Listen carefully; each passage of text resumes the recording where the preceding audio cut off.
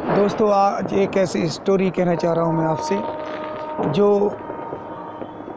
सुनने के बाद आप उस स्टोरी को इस दुनिया से अगर रिलेट करके देखेंगे तो एक एसेंस समझ में आएगा रियल लाइफ का भी और इस दुनिया में जो हो रहा है उसका भी। जैसे एक इंजीनियर है। बहुत अच्छी लेवल का इंजीनियर, बहुत एडवांस्ड इंजीनियर और वो अपनी लैब में कुछ रोबोट बना रहा है। एडवांस रोबोट बनाने की तैयारी में लगा हुआ है। काश बन जाए कुछ ऐसा कोई रोबोट जो बहुत एडवांस हो। तो उसे कई सालों बाद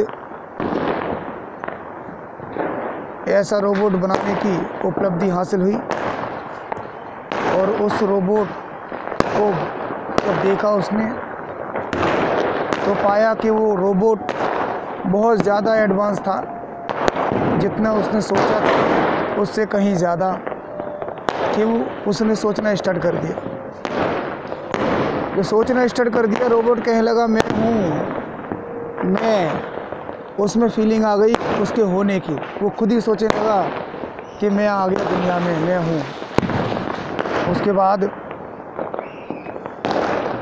रोबोट का ये रवैया देखकर इंजीनियर हंसने लगा और सोचने लगा कि ये क्या कह रहा है। इसे तो मैंने ही बनाया है। अलग अलग पुर्जों को जोड़कर अलग अलग सर्किट को ज्वाइन करके और ये हमारी ही एक आर्टिफिशियल उपज है। अब ये कह रहा है, मैं हूँ। ऐसा देखकर वो हंसने लगा। लेकिन रोबोट को नहीं पता था कि उसका भी कोई इंजीनियर है, उसे भी बनाया गया है। क्योंकि तो रोबोट उसे नहीं देख पाता था, उसे नहीं देख पा रहा था। रोबोट बहुत छोटा था, उसकी आँखों की कैद में इंजीनियर नहीं आ पा रहा था। उसने सोचा, बस यही रूम उसके लिए दुनिया है। उसने फिर सर्वाइवल के लिए जद्दोजहद स्टार्ट कर दिया। उसने दूसरे रोबोट जो बनाया था, उसने दूसरा रोबोट भी बनाया था और रिप्रोडक्शन भी स्टार्ट हो गया इस तरह से। और नई जनरेशन की भी शुरुआत हो गई। जब ऐसा देखा देखते देखते एक साल बाद बहुत सारे रोबोट उस लैब में हो गए थे। इंजीनियर ये देखकर बहुत अचंभित था कि रोबोट बहुत एडवांस थे। उनमें सेंस था, उनमें इमोशंस थी, उनमें थॉट्स थे। उनके मैं होने की एक एबिलिटी थी। उनके एग्जिस्टेंस का उन्हें पता था कि मैं हूँ। तो ये बहुत ही ज़्यादा चौंकाने वाली बात लगी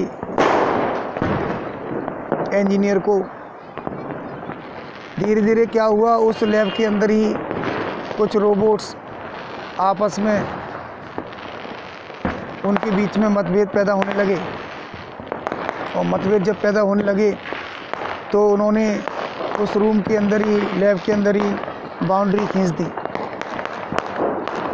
एक मत के लोग एक बाउंड्री के अंदर, दूसरे मत के लोग दूसरी बाउंड्री के अंदर इस तरह से उन्होंने बाउंड्री खींच ली कि इस बाउंड्री के इधर कोई नहीं आएगा।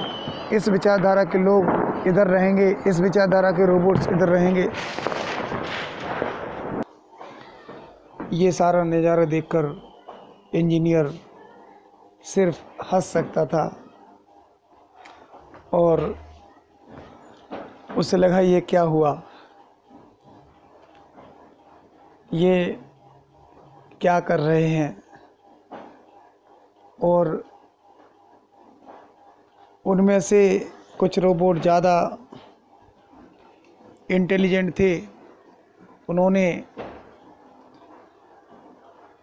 दूसरे रोबोट पर रूलिंग करना स्टार्ट कर दिया।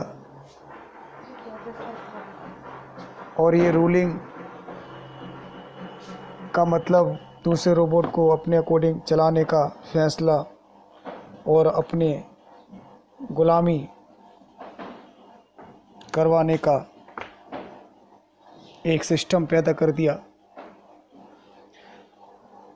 तो सभी जो अलग अलग बाउंड्रीज खींची गई थी रूम के रूम के अंदर।